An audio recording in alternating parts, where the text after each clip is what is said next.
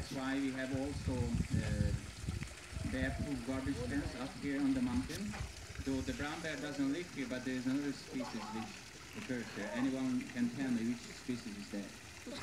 their species.